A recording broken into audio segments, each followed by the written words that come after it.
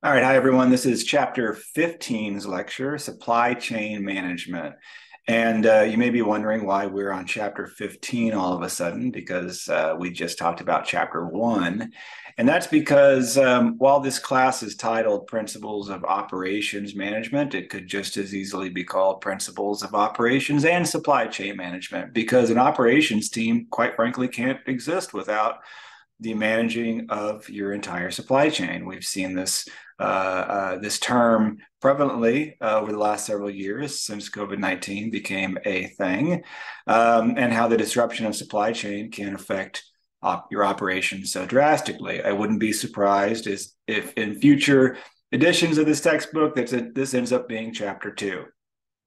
So the supply chain is um, every organization that um, is involved in the product or service that you deliver to your customer from the moment that it's a raw material to the time it's delivered to the customer. All of the, various organizations, all of their facilities, functions, activities, everything along the way is part of the supply chain.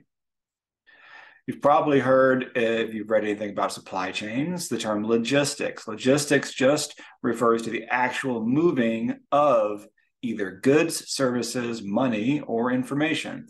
And it's both directions. So information travels both directions because you need to get your demand information to your suppliers upstream so that they can make sure that they produce the um, you know sub assemblies that they send to you. And they need to let their suppliers know so that they get the raw materials to them. Information has to flow both ways. And of course money flows both ways.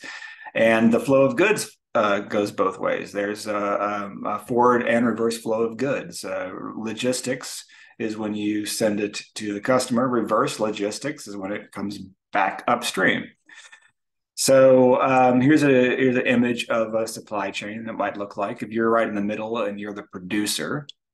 Um, you've got your direct suppliers, but before them, the, the suppliers have suppliers, and you send it to maybe a um, distributor. Could be a retail store, for example, and they sell it to the final customers. Often you don't sell it directly to the final customer.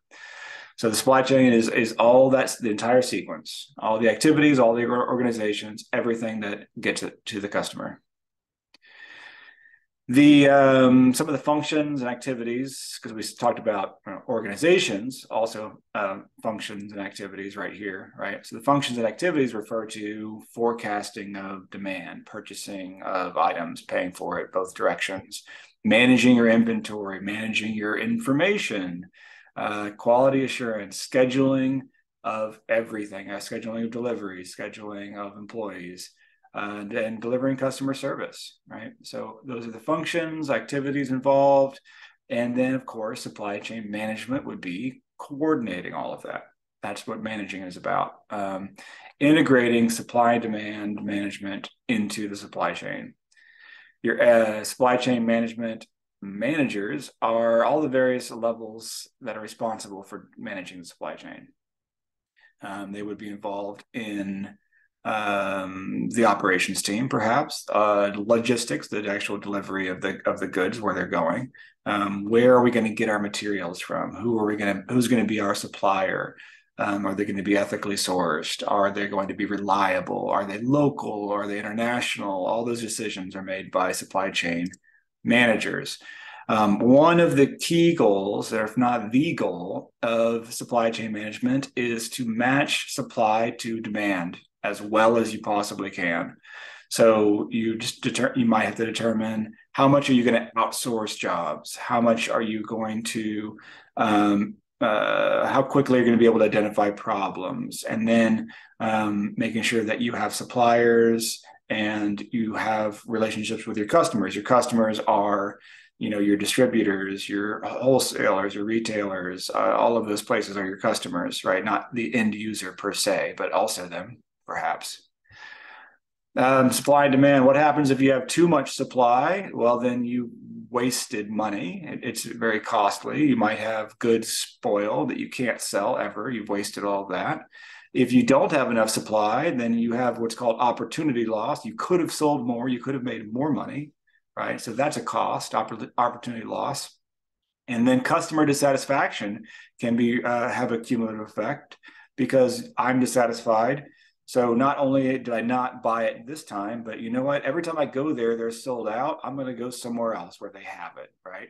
So not only did you lose the customer now, you might lose repeat business, or they might tell friends if they're not satisfied, and then the friend doesn't shop, shop there. They blast you on social media. Now, no, none of their followers are shopping your place, right? So matching supply to demand is ideal. There you go, right there at the bottom.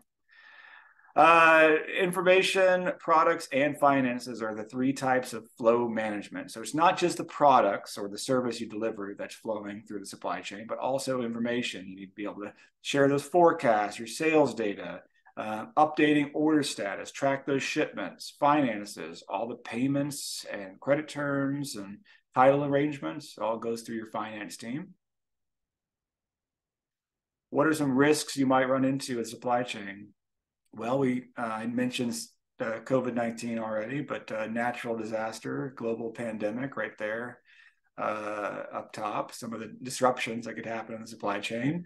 Um, who recalls uh, in the news? What was the name of it? Green something. There was a big um, uh, shipping barge in the canal that uh, turned sideways and got got jammed up, and then the entire canal was blocked for a while. Um, was it like a week or more? Uh, and ev- all those deliveries were not on time that were going through there from overseas, right? So some sort of a disaster uh, can disrupt supply chain. Um, environmental disaster. There's the uh, Deepwater Horizon that caused a lot of uh, uh, oil to be lost into the ocean, along with uh, you know um, other and, and, negative consequences there. Um, you know, we had um, a lot of ice recently and snow and gasoline prices went up. Um, so uh, there are a lot of ways that your supply chain can be disrupted. Um, you could have all of a sudden your suppliers aren't producing good quality um, supplies to you, and then um, now you've got um, product recalls because your product isn't uh, living up to the reliability it used to. Negative press, liability. Um, perhaps your suppliers aren't as uh, reputable as you thought or ethical as you thought, and they're divulging information to competitors. Um, that could weaken your competitive position. There was an example where, um, you know, Coke has their own secret recipe, right? And uh, the numerous issues of, of people trying to uh, sell that information to Pepsi. Of course, Pepsi just calls the FBI on them because they're not interested in in in, that, in, making Coke. They're interested in making Pepsi. But um, uh, still, there's there's been num- numerous times where some insiders would try to sell information to somebody else because they um, you know they weren't ethically minded. Um, managing risk means identifying risk. Um, how likelihood uh, how likely that risk is and what that impact would be um, so three ways listed here to uh, address risk is either to avoid it, um, reduce it, or share the risk, right? Um, sharing risk would be this is a risky investment opportunity. Maybe I'll like another business to go in with me, and we both would get a share of the profits. But if either if it ends up not going well um, as expected, then we both lose a little bit instead of one company losing a lot. Right? That's sharing the risk uh, maybe like a joint partnership, joint ownership of a, of a company when you're expanding overseas, perhaps. That's that's a pretty common one. Um, uh, your risk avoidance would be, you know, there's this, this is a good business opportunity if it goes well, but based on our probability and research, it's not likely to. So we're just going to avoid the risk altogether. Um, reducing risk could be I'm not going to invest as much because of that. Um, so I'm not, uh, you know, all of my uh, all my eggs in one basket kind of thing. Um, so some ways you can avoid risk well is to know your suppliers um, and then have uh, capability to respond to various events. If, if my supply chain is disrupted, do I have um, other suppliers who I can turn to uh, in short notice, for example. Issues can arise uh, specifically with global supply chain. Um, some some of those include um, the fact that um, you know labor it, you know, uh, labor's lower in other places, but there are complexities such as um, the fluctuation of currency, political instability, transportation costs could increase at various times. Um, you know, uh, there's things like um, Chinese New Year is a big deal, and we get a lot of our products from China. And there's a there's a time where there's no business being done for about a, a week there or, or more. Uh, various businesses, right?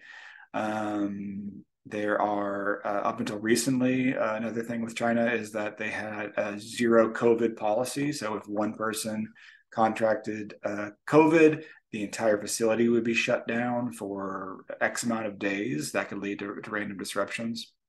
So, knowing the um, legal issues of various companies is very important to uh, be aware of the possible risks. And of course, there's ethical issues that that could uh, that could come up um, if a company was unethical and was act, acting unethically in the uh, global market, such as bribery of government uh, officials. Um, so, of course, we've legalized bri- bribery in the form of lobbying. Um, you know, uh, well, enough said there. Um, claiming a green supply chain when green is only minimal. I talked about in chapter one um, plastics uh, or excess packaging. You know, um, company wants a lot of shelf uh, shelf space or shelf. Uh, what's the word? Product. Um, oh, there's a certain term for it. Sorry. Uh, but the idea that you uh, product visibility on shelves right? So they make their package overly large so that you see it, but that's a waste of materials and that, that aren't going to be reused in any way, right? So it, it, it should fall on the companies to do it, but by pushing it on the consumer, they you know can claim green when they could be making better decisions for the uh, for the environment. Um, violating basic worker rights, man if uh you know if companies could pay us less they would. Um which is why we have a minimum wage saying that we, we would pay you less if we could but we, are forced to pay at least as much.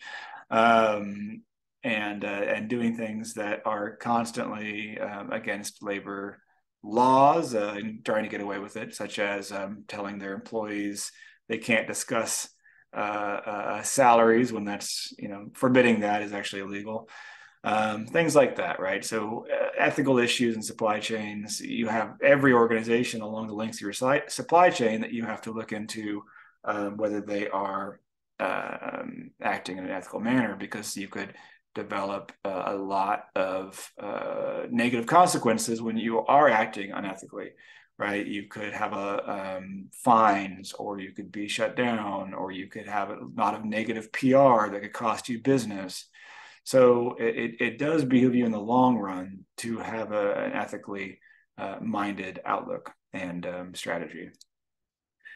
Um, what are some responsibilities of management? Okay, so um, you've got uh, legal, economic, and ethical, right? So being knowledgeable about the laws and following the laws is your legal responsibility um, being economical. So making sure that you are uh, able to meet demand, but not uh, having excess costs to do it. And then um, being ethical, right? Conducting your businesses in ways that are consistent with the moral standards of society. That's a good definition there. Um, it's it's the right thing to do. Is your responsibility, and there can be immense negative consequences if you don't. Maybe not in the short term. Maybe in the short term you'll have high profits, but you know, it takes its toll. All right. Um, strategy, tactics, um, a lot of various definitions of those. But in general, the idea is strategy is a long term outlook of uh, coming from the very top of your organization, whereas tactics are the short term decisions that your mid level managers might be able to make. And then your operational uh, responsibility would be your day to day decisions. So, um, strategic responsibility would be the major things that are long term, such as capacity planning. That would go into the design of your um, actual facilities itself. um, how you are going to um, align your supply chain, how you are going to determine risk and make decisions. Your tactical responsibilities would be forecasting demand, um, collaborating with other departments or other uh, people in your supply chain. Um, your operational responsibility would be your you know day to day, your scheduling, receiving of inventory, transforming those raw materials into the finished products, um, shipping them, controlling and monitoring them. Right, that's your operational responsibility. So strategy is your uh, your long term. Tactical is your short to intermediate term uh, uh, responsibilities. Your operational is your day to day procurement department is also known as the purchasing department. Uh, you've got a purchasing manager typically, and they're responsible for the sourcing of uh, materials, part, parts, supplies. Um, and the goal is to uh, implement the plans for all those things that support operations. When you're managing inventory, uh, a couple things to uh, keep in mind is uh, velocity rate at which material moves through a supply chain um, helps you to uh, manage your inventory levels better. The bullwhip effect. So this is a term that's going to come up a lot. It, it's there's several variations of questions that you might encounter on various quizzes that refer to the bullwhip. But uh, if you uh, think of a bullwhip so think of like um, think of like Indiana Jones, if you ever seen uh, one of those movies, and he has the whip, and when you flick that whip, you make a small move of your wrist, but by the time it gets to the end of that whip, there's a loud crack, and and and and the the the whip is you know this much of a distance from the floor to where it cracks, right? Whereas a flick of your wrist, you've moved it uh, you know a few inches. The idea that a small change here of my wrist has that loud effect on the other end, right? Small variations uh, of, of, what's happening have huge consequences as you get further and further up or down the uh, supply chain. If I have a stock out and I need something um, sooner, uh, then my supplier has to scramble, and their supplier suppliers have to scramble, and so on and so on. And it might not be I might not be able to get that item. Um, the other way, same thing. If I am if I can't produce this raw material, now my just people that I distribute those to can't produce the um, subassembly. They can't send it to the uh, the company in the middle of the supply chain, and so on and so on. And then you have stock outs at the other end. You have uh, upset customers. You have back orders. Now you got to fill those back orders before you can fill the new ones. It takes a while to get back on track. So um, that's why the uh, the amount of information you have should be timely and uh, transferred and shared as much as possible. We already mentioned logistics. Um, here's some ways that you can um, track your items. Um, the, the, items might be moving just through a facility. They might be coming into your facility. They might be leaving your facility. Um, one thing you can do nowadays is track them with RFID um, chips. Uh, in the packaging so that you know when it's set down one place or set down another place exactly where it is. Um, managing returns. So, what happens if you send a product out and it's defective or the customer's not happy with it? Will they return it? So, you have to be able to manage the return and transportation backwards of goods up until the point at which somebody's going to ultimately eat the cost. Um, there are two elements to return management. One is uh, called gatekeeping. That re- refers to making sure that if it's claimed to be damaged, it actually is. Um, if not, you can sell it still, repackage it and sell it um, if it's if it's uh, in quality condition. Um, you know, making sure that the product is working fine, that it's can be put back in a uh, packaging that's you know uh, appears to be new, um, maybe sold, sold, returned, or sold at a discount, whatever the case is. Um, so that would be gatekeeping. Avoidance would be to find ways to minimize it, making sure that you've actually done your homework as a marketing team. You're putting out products that customers actually want. Um, you're sending the right amount of items. You're matching supply to demand. That could be ways to avoid returns to begin with. And then how do you create an effective supply chain? Um, strategically sourcing. You have to be able to trust, communicate, um, quickly share information. That's what velocity of information is. Um, know all the links of your chain. That's what the visibility refers to. Um, being able to manage uh, various events that could occur um, quickly and timely, and then being able to measure those through various performance metrics. All right, that's chapter 15. We'll see you in the next chapter. Thanks, everyone.